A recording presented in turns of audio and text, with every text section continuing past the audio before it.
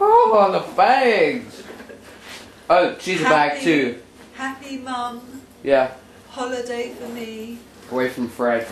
So it's Tuesday, March something or other. Uh, The 24th. 24th. Uh, the BJC starts tomorrow, but that means today is travel day. Yeah. So we're going to jump on the train in Petersfield uh, to Waterloo Station, and then we're going to take the underground to King's Cross Station, and then take another train up to Doncaster, and then a taxi to the hotel. And we're gonna be like super awesome because we're like at the hotel and stuff. And then we have like a whole day to just juggle at the hotel and see Doncaster, and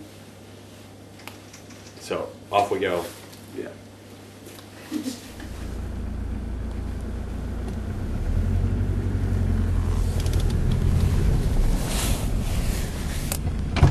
I'll shut the top one.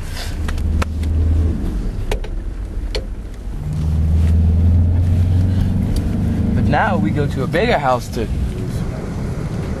Totally makes us look like we're some kind of tourist. So we've just made it here to the uh, Premier Inn in Doncaster, home of the BJC 2008. Freddy uh, just got done with some stargazing. How was the stargazing? Oh yeah, it's pretty good. Pretty good stargazing, just there behind me.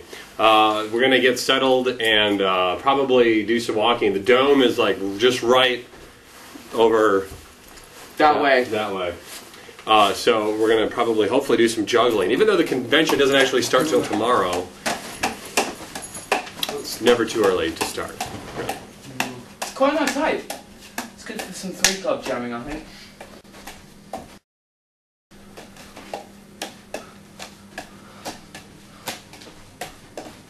Cool.